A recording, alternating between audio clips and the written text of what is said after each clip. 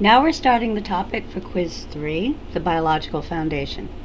And some students taking a general psychology class are surprised that there is some focus on biology or biological psychology, but it's very important because the biological foundation is literally the foundation for behavior. As a psychologist, any behavior that you study is going to have biological underpinnings. And if behavior is unusual or unhealthy, then the biology underlying that behavior is very important. Furthermore, this is a burgeoning field today. There are many biopsychologists, psychobiologists, neuroscientists who are conducting research that will have an impact on our daily lives and on our physical and mental health. There are an increasing number of jobs out there available to people with training in both biology and psychology or neuroscience and psychology.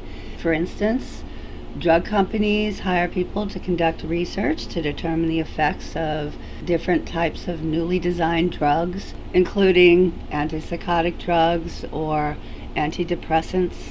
If you're in a position later on to either advocate for people with disabilities or children or the elderly, then being able to understand the causes of relevant behaviors, including biological causes, is of enormous importance.